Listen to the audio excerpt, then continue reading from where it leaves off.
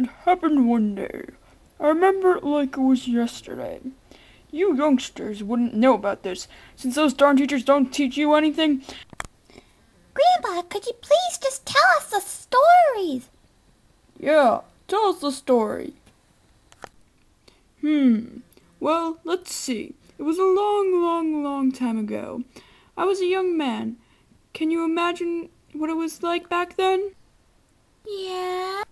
Well, good. That makes telling this a lot easier. Anyway, I had been vacationing in Chile, and what a beautiful place it was indeed. I remember the the sights like it was yesterday.